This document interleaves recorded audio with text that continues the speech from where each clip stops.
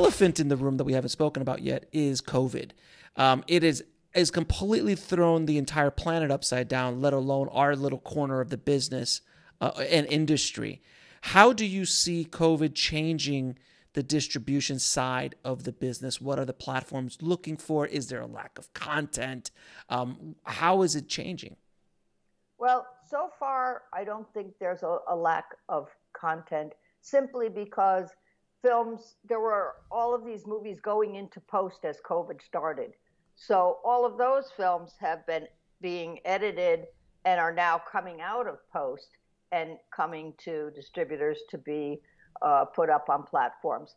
But I think we will start to see uh, a diminished number of films because there hasn't been any new production. So I think by, say, January or February, we're going to start to see uh, fewer films being submitted.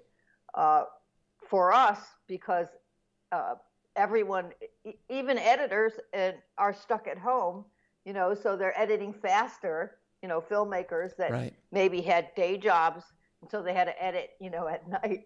Uh, now are finding that they have more time on their hands, and they're they're editing, you know, quicker than they normally would have. So I, we're seeing a lot of content and a lot of submissions. Our submissions have probably tripled uh, during COVID. So wow. unfortunately, uh, part uh, you know, the downside of that is that we've had to become more selective in the films that we take because we can only handle a certain number of films. Um, you know, it's it's very time consuming for us to do the encoding and delivery and QC.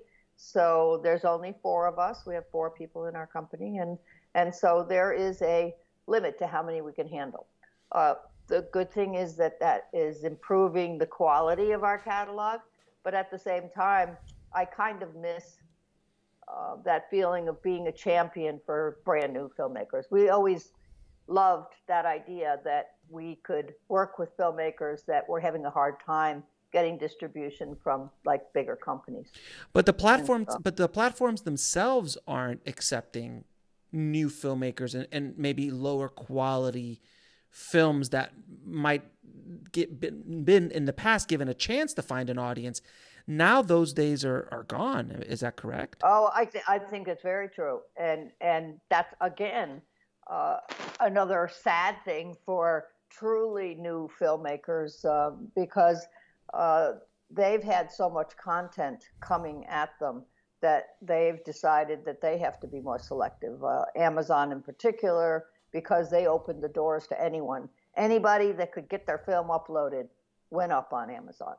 And uh, they started to get heavily criticized uh, by the public in general that there was a lot of, you know, subpar films. There is. And because, you know, and because they want to be considered as good a platform as Netflix or, you know, Google Play, uh, they very seriously decided they, they were going to uh, be more uh, discerning, and and and they didn't really do that at first by not accepting films. What they did was they were still taking films, but then had to actually compete with all the other films that were on the platform. So that's how they came up with this concept of uh, customer engagement rating. So all of a sudden, they are you're in a competition with studio films, mm-hmm. if you want to know the truth. So you actually, your film had to prove that it was engaging with an audience somewhere above 50% of all of the other films that were up there, or you were going to make a penny an hour. And because of that, so many films that were actually were making could be making a decent amount of money at 10 cents an hour you know, if they were making $1,000 a month or $2,000 a month, that's enough for some filmmakers to live on. But when that turns into $200 a month, you're not paying your rent with it. Or or $25 a month. or 25 right? But I mean, that, but that particularly that class of indie filmmakers that were able to get a couple thousand dollars a month, it allowed them to do absolutely. make movies full time. But you just when it when that's cut down to two hundred dollars or a couple hundred bucks, you're you're out of you're out of the competition, so to speak.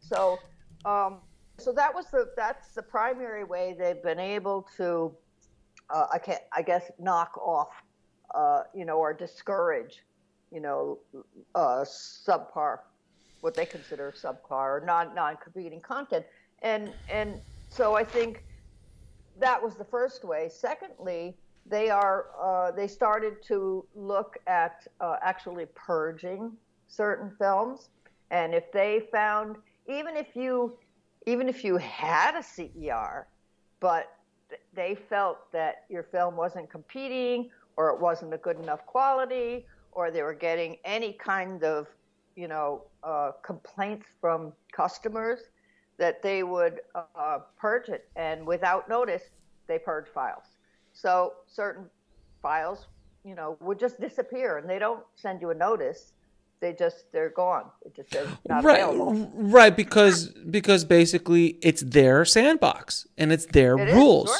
And they do whatever the hell they want, and they can care less about the film. They truly can care less about the filmmaker.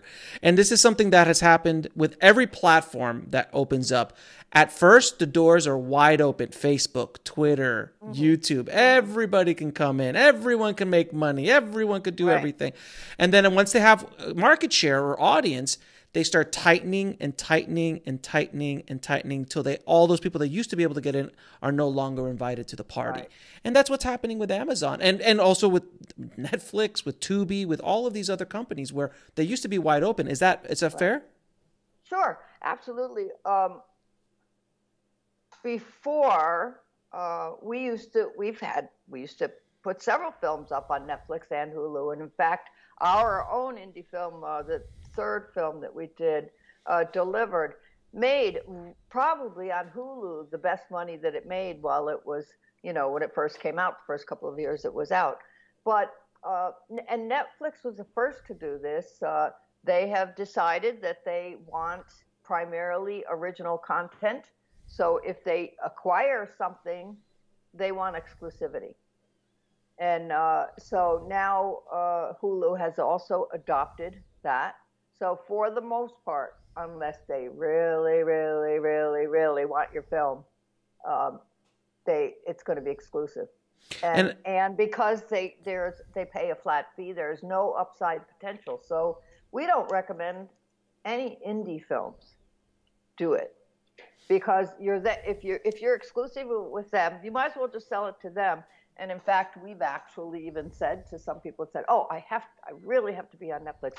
I say, "Okay, you know what? Go go to one of the uh, companies like Bitmax or Quiver that will pitch your film. Pay them to pitch your film to Netflix and see if you get on." Because we're not interested in distributing a film if we can only put it on Netflix. Right, and if like if if basically you take on a film and they give you fifty thousand dollars for that film, and that's all you can make off that film for the next two years, or depending Yeah. on the term of the, of the length of the, of the agreement, Right. That's not really interesting to you. The, there's no upside. You can't go anywhere else. You can't make a deal with Right. a foreign distributor to Right. you know a buyer to buy. anything else with it. Yeah, you're you're you're you're done. And I've heard They from don't need us, and I want to be honest with them about that. Right, So- e- exactly. And from what I'm also hearing from the grapevine, I've heard from multiple producers and multiple multiple producers, distributors and filmmakers who have been dealing with Netflix is now, and I'm not sure if you've had this experience yet because I'm not sure how much you're dealing with them currently. But now before like Hulu, when I sold my film to Hulu um, and licensed it to them, it was a, it was a I think a six a, a 12 month deal and it was x x amount of money and they would just break that up in quarterly payments during the course of the term. That's right. Now, Netflix is starting the payments at the end of the term. So if you sign a 2-year deal, those first 2 year those first 2 years you don't get a dime. Oh, That's what, I, and I've heard that from. I've seen. I've, I've actually had filmmakers on, uh, or not on, but I've spoken and consulted with filmmakers who've had six high six figure offers from from Netflix, but they're like, yeah, it's a two year deal exclusive, and they're like, oh yeah, but we can't pay you for two years, and then at the end of the two years, and then we'll start your payments. And we're like, they just walked away from the deal. Like, they- why would you? Why would you go with a deal like that? Yeah, sure, it's Right. Netflix. It's like you know Warner Brothers or Disney. But if there's no money in it, yeah, come on. right. I know. At at some point, you know, you just have to go. It's, you know, why is it still considered the holy grail? And and it just really doesn't need to be anymore. Uh, so I think that you know, slowly the word is getting out there that mm-hmm. you don't have to be on Netflix to be successful, and that it, that sometimes even if you go with Netflix, that you know you're hurting your film rather than than uh, helping it. That you really could make a lot more because we have plenty of films that might have gotten like a thirty thousand dollar deal with Netflix, but they've made three hundred thousand in right. the first two years. Right. So, you know, we we we our we see our job as being, you know, uh, to maximize the revenue that you can see from your film, so you can keep making more movies. I right. mean, that's that's the point, you know. Uh, I think there are sometimes exceptions where someone ju- doesn't want to make movies; they just want to be a director for the studios, and so they're more concerned with their reputation. Right. And, and so there are occasionally, you know, if some if that's what they want, uh, you know, then. But that's not usually um, the films that we get. The films that we get are usually from filmmakers that want to make movies and make movies, and, and, make right? money but the end right. goal but the end goal that's why i always ask filmmakers when they ask me to consult them on them like what's your end goal is your end goal to, to get this up on netflix so your your your own personal cachet as a director goes up and you can leverage that into getting another gig or do you want to make money and and that's two very different outcomes. And filmmakers have to be honest with themselves about what they. And I know everybody's like, "Well, I want both." I'm like, "Well, yeah, sure, yeah, we all want both." Um,